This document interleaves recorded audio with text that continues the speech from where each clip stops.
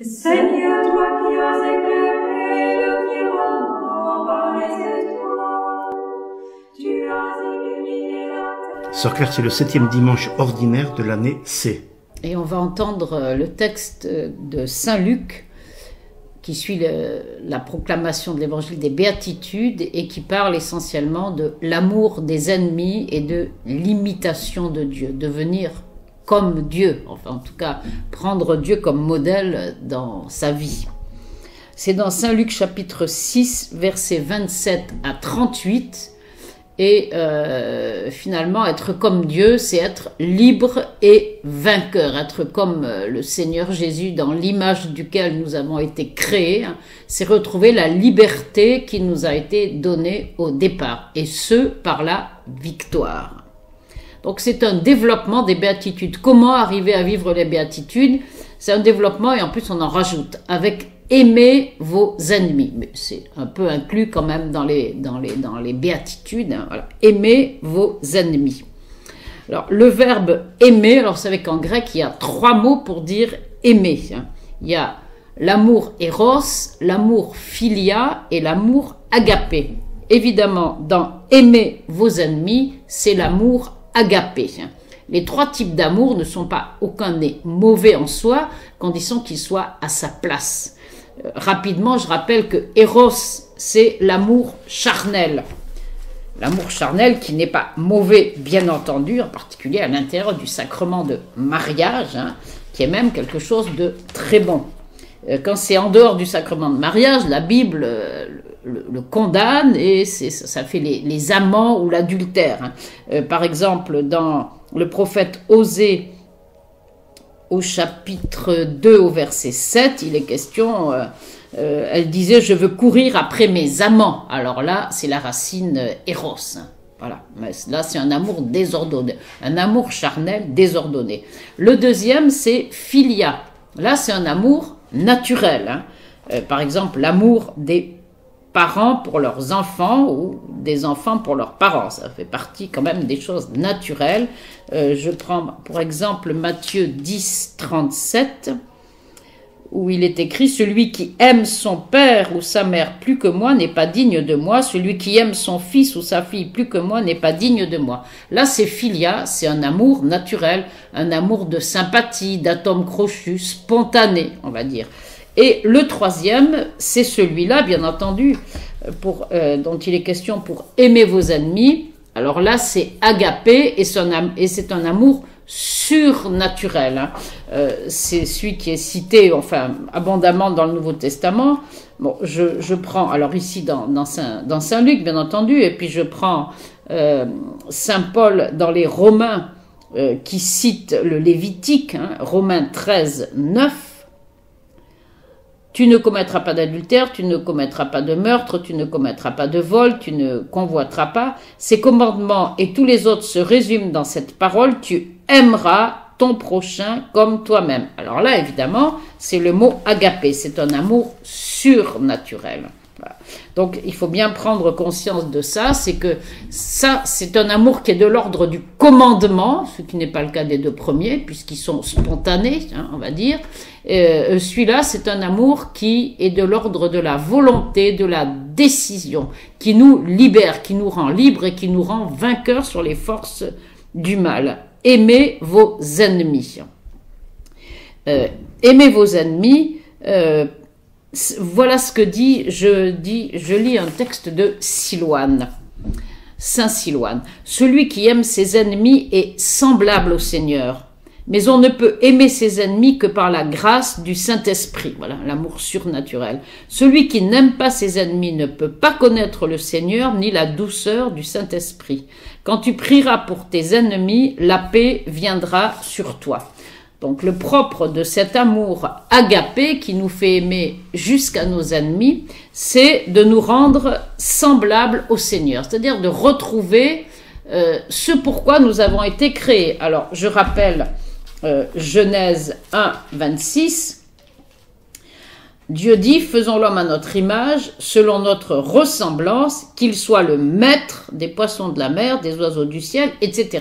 On a été créés roi et reine Pourquoi? Parce qu'on ressemble à Dieu, hein, le roi de l'univers, qui fait que chaque chose est à sa place. Donc, euh, retrouver la royauté, c'est euh, c'est repousser le péché, c'est refuser le péché et retrouver la ressemblance avec Dieu. Euh, on voit très bien le péché de Caïn, bon je ne parle pas d'Adam et Ève, mais celui de Caïn c'est clair et net. Hein. Le Seigneur lui dit en Genèse 4, 7, euh, c'est... oui 7, si tu agis bien, ne relèveras-tu pas le visage, mais si tu n'agis pas bien, le péché est accroupi à ta porte, il est à l'affût, mais tu dois le dominer. Voilà, tu dois le dominer. Tout ce texte d'évangile qu'on va entendre ce dimanche, c'est tu dois dominer le mal, tu dois dominer le péché, tu dois être roi sur toi-même, la royauté. Euh, je rappelle aussi ce que dit euh, Saint Pierre dans, dans sa première épître au chapitre 2 au verset 19.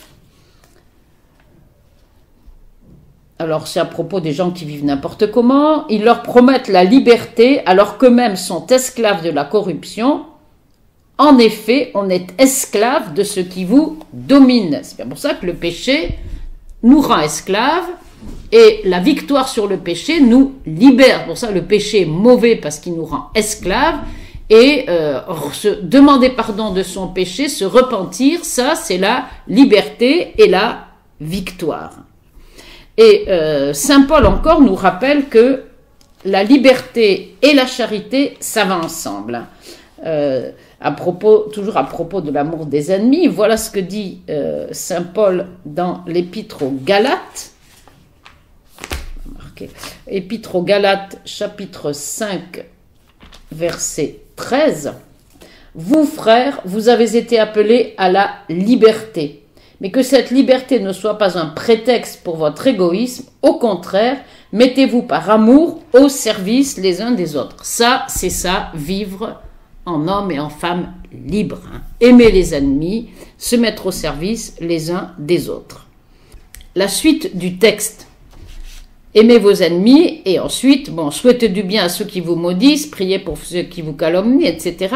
À celui qui te frappe sur une joue, présente l'autre joue. À celui qui te prend ton manteau, ne refuse pas ta tunique, etc. Alors là, il y en a qui disent ça c'est invivable, c'est n'importe quoi. Et euh, voilà comment euh, les pères de l'Église relisent cette, euh, ce texte. Je prends Saint Jean Chrysostome. Le Sauveur ne dit pas supportez humblement la violence de celui qui vous outrage, mais Procédez avec sagesse et préparez-vous à souffrir tout le mal qu'il veut vous faire. Dominez son insolence par une prudence à toute épreuve et faites qu'il se retire couvert de honte à la vue de votre patience inaltérable. Vous me direz comment pouvoir mettre en pratique ce précepte. Quoi?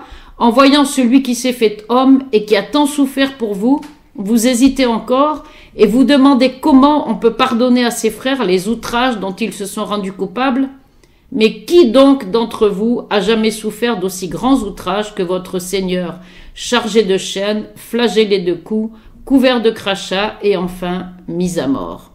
Donc deux choses. Premièrement, dominer, retrouver la domination qui vous a été donnée le jour où vous avez été créé. Et deuxièmement, imiter le Seigneur. Et ça, c'est victoire et liberté. Vous avez aussi euh, Saint Irénée qui dit ceci, toujours à propos de cette euh, liberté que donne euh, le fait de mettre en pratique cette page d'évangile. Si quelqu'un te contraint à faire mille pas, fais-en deux mille avec lui, afin de ne pas le suivre comme un esclave, mais de le précéder comme un homme libre. Voilà la sagesse de l'évangile, voilà ce, que, ce qui nous est demandé de, de vivre la même liberté que le Seigneur euh, qui a donné sa vie. On ne la lui a pas prise, il a librement donné sa vie. Il n'y a pas plus libre que Jésus attaché sur la croix, pas plus libre. C'est notre modèle, c'est notre Seigneur, c'est toute notre vie et c'est ce que cet évangile nous demande. Je continue. Euh, ce que vous voulez que les autres fassent pour vous, faites-le aussi. Alors ça, c'est une maxime qui était déjà dans euh, l'Ancien Testament, dans le livre de Tobie, hein, dans sa sagesse. euh, Tobie dit ceci à son fils, Tobie 4, 15. Ne fais à personne ce que tu détestes et que cela n'entre dans ton cœur aucun jour de ta vie. L'amour du prochain. Tobie, père, qui l'enseigne à Tobie, fils. Et puis alors, euh, vous avez bien sûr dans Saint, dans Saint Matthieu, hein, euh, chapitre 7, verset 12, Tout ce que vous voudriez que les autres fassent pour vous, faites-le pour eux, vous aussi. Voilà ce que disent la loi et les prophètes. Alors très curieusement, je, vous cite un, très grand euh, sage de la tradition juive hein, nommé Hillel, euh, euh, qui vivait au deuxième siècle de notre être, qui reprend très exactement l'évangile, ce qui veut dire que les préceptes de l'évangile étaient connus dans la tradition juive des premiers siècles, parce que c'est exactement, il, il reprend ce qui est dit dans Saint Matthieu. Voilà ce que dit Hillel le sage, quelqu'un lui dit, euh, bon, je te, explique-moi tout le sens de la Torah, le temps que je puisse rester debout sur un seul pied. Réponse de Hillel le sage, ce que tu ne voudrais pas que l'on te fît, ne l'inflige pas à autrui, c'est là toute la Torah. Le reste n'est que commentaire, maintenant va et étudie. Bon. Donc on voit que c'est dans la grande tradition euh, chrétienne et juive, depuis Tobie jusqu'à Hillel. Aimez vos ennemis, ensuite ça va être encore euh, euh, répété, au contraire, Aimez vos ennemis, faites du bien, prêtez sans rien attendre de retour. Et alors, vous serez les fils du Très-Haut, car lui, il est bon pour les ingrats et les méchants. Soyez miséricordieux comme votre Père est miséricordieux. Le but, c'est vraiment ce que, je disais en commençant, de retrouver la ressemblance avec le Seigneur que le péché nous a fait perdre et de nous, réinstaller comme des vrais fils de Dieu tels qu'il a voulu euh, quand il nous a créés. Euh, voilà ce que dit Saint Paul dans l'épître aux Éphésiens, cherchez, chapitre 5, verset 1. Oui, cherchez à imiter Dieu. Voilà, ça c'est exactement le résumé de tout ce passage. Hein. Cherchez à imiter Dieu puisque vous êtes ses enfants bien-aimés. Vivez dans l'amour comme le Christ nous a aimés et s'est livré pour nous, s'offrant en sacrifice à Dieu comme un parfum d'agréable odeur. Comme, comme, imitez, ressemblez, redevenez les fils du Très-Haut, qui, qui, ressemblent à leur père comme un fils ressemble à son père. Euh, je lis Saint Cyril. Quelles sont donc grandes les, prérogatives de la miséricorde? Elle nous rend semblables à Dieu elle imprime dans notre âme comme le sceau de la nature divine. Soyez donc miséricordieux comme votre Père céleste est miséricordieux. C'est la marque divine dans notre âme et dans notre manière d'agir, de nous comporter. Et finalement, je disais au début, libre et vainqueur, hein, cette victoire sur nous-mêmes, cette victoire sur le mal, cette maîtrise de soi, dont il est question euh, dans les fruits de l'esprit, hein, je, rappelle qu'elle est qu'elle fait partie du fruit du Saint-Esprit. Parce qu'il n'y a pas les fruits du Saint-Esprit, il y a un fruit qui est développé euh, presque à l'infini. Hein. Euh, dans l'épître aux Galates, chapitre 5, verset 20, je vais lire 22 et 23, voici le fruit de l'Esprit Saint. Amour, joie, paix, patience, bonté, bienveillance, fidélité, douceur et maîtrise de soi. Voilà. La maîtrise de soi, c'est lié à la présence de l'Esprit Saint euh, dans nos vies. Voilà. Donc cette victoire est liée à la maîtrise de nous-mêmes, au fait de dominer. Et je termine euh, avec Saint Maxime le Confesseur, parce que les pères ont évidemment beaucoup commenté ce texte. Saint Maxime le Confesseur, ne te laisse pas vaincre par la haine, mais sois vainqueur de la haine par l'amour. Heureux l'homme capable d'aimer tous les hommes également, heureux l'esprit qui a dépassé les créatures et qui jouit sans cesse de la beauté de Dieu. Ce vainqueur, c'est celui dont parle le livre de l'Apocalypse. au chapitre 2, versets 26 à 29, et je vais terminer avec ça. Le vainqueur, celui qui reste fidèle jusqu'à la fin à ma façon d'agir. Je lui donnerai autorité sur les nations. Il les conduira avec un sceptre de fer comme des vases de potier que l'on brise. Hein, ça, c'est le psaume numéro 2. Il sera comme moi, qui ai reçu autorité de mon Père, et je lui donnerai l'étoile du matin. Celui qui a des oreilles, qu'il entende ce que l'Esprit dit aux églises. Sœur Claire, merci.